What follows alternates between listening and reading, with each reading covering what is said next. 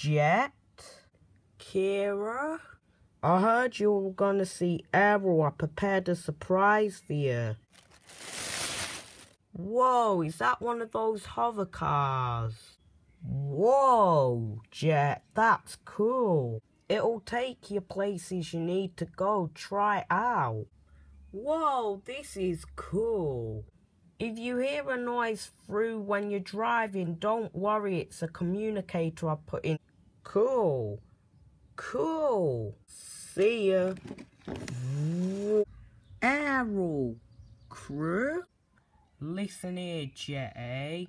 I betted money on Erol to win, eh? So I'm gonna need you to drop out of the race, eh? What race? Race? No one said anything about a race. The race that we're gonna have now, if I win, Kira will be mine forever. Listen here, Erol. Kira isn't gonna be yours, cause Krew, I am not dropping out this race. A race right now? A little race, eh? If you lose, eh, you need to drop out, eh? And the race can be whoever gets to the main race first. You're on, Erol.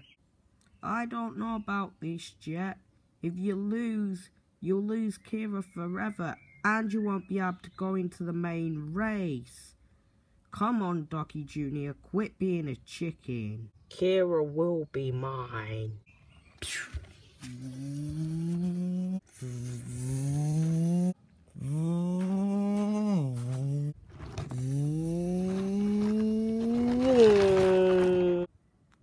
Jetty, you won the race, eh? I'm gonna get you, eh?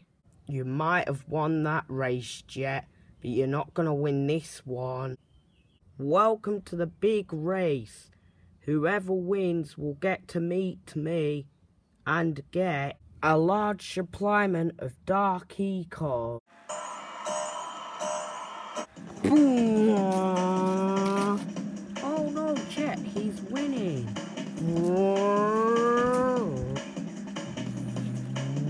Use your speed boost. So who do I owe the honour in thanking to winning this race? Surprise. You, guards, get him and don't let him get that shipment of dark eco. I win, Jet. Whoa!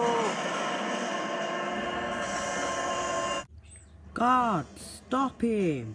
Strike him, strike him! Have you met my friend Supernova Blade? What? Where are we going now, Jet? We're going to stop the Baron once and for all.